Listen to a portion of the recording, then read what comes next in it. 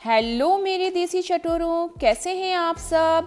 Normal वाली काजू कतली तो हमने बहुत खाई है। आज हम बनाएँगे केसर वाली काजू कतली, जो बहुत ही टेस्टी और बहुत ही अच्छे फ्लेवर में बनती है। अगर आपको मेरी रेसिपी पसंद आई तो प्लीज़ लाइक एंड शेयर ज़रूर करना और मेरे चैनल को सब्सक्राइब करना ना भूलें।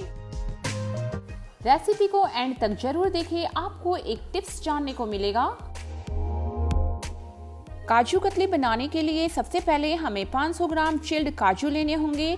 काजू को मैंने लगभग 20 से 25 मिनट के लिए फ्रीज़र में रख दिया था, जिससे कि इसका पीसते टाइम तेल रिलीज़ ना हो। और हमेशा ये ध्यान रखें, काजू हमेशा अच्छी क्वालिटी के ही यूज़ करें। पुराने काजू में स्मेल आती है तो हमेशा फ्रेश ही काजू यूज़ करें। अब हम एक मिक्सर जार लेंगे और इसमें थोड़े थोड़े करके काजू डाल के एक स्मूथ सा पाउडर रेडी करेंगे। काजू को पीसने के बाद उसे छलनी से ज़रूर छान लें, जिससे कि हमें स्मूथ पाउडर मिले। काजू का पाउडर बनकर रेडी है।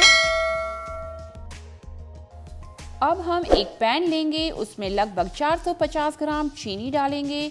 हमने 500 ग्राम काजू लिए हैं तो हम थोड़ी सी कम चीनी यूज़ करेंगे। अगर आपको मीठा ज़्यादा पसंद है तो आप 500 ग्राम चीनी ले सकते हैं।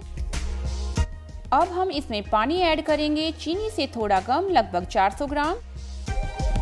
अब हम पैन को गैस पे रखेंगे और फ्लेम को लो रखेंगे और हम एक चाशनी बनाएँगे।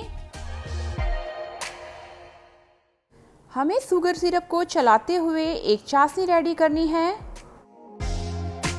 हमें चाशनी को ज़्यादा नहीं पकाना है। अगर हम ज़्यादा पका देंगे तो पानी काजू के अंदर नहीं जाएगा और काजू कतली रूखी रूखी बनेगी। तो इसलिए हमें इसे लगभग आधे तार तक ही पकाना है।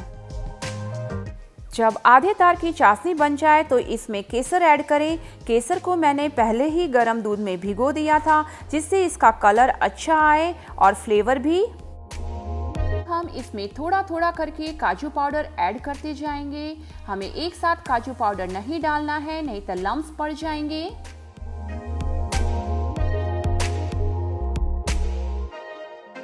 गैस की फ्लेम को लो पे रखेंगे और कंटिन्यूसली चलाते रहेंगे, नहीं तो नीचे चिपक सकता है।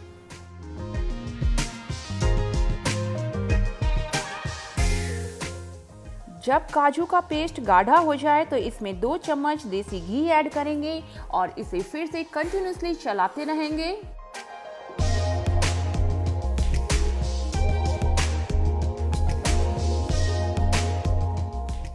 हमें इसे तब तक चलाना है जब तक कि ये पैन से अलग ना हो जाए। जब ये पक जाएगा तो ये अपने आप ही पैन से अलग होने लग जाएगा। हम काजू के डो को एक बटर पेपर पे निकाल लेंगे और अच्छे से मसल लेंगे और चारों तरफ़ अच्छे से फैला देंगे।